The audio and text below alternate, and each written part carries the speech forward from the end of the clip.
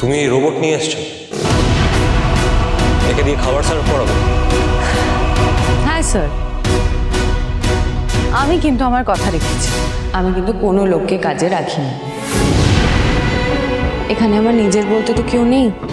আমার মা নেই, আমার বাবা নেই, আমার স্বামীও নেই। তাই আমি আর এই রোবট মিলেই এই হোটেলের সব কাজ করে নেব।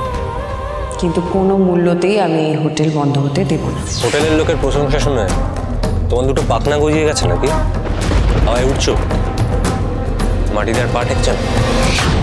তুমি জানো না? গুরুমা এইভাবে সবার সাথে বসে খায় না? পুজো আর্চা করে ভক্তদের হাতে সেবা নিয়ে আমি মেশিনের পরিবেশন করা খাবার আমি গ্রহণ করি না।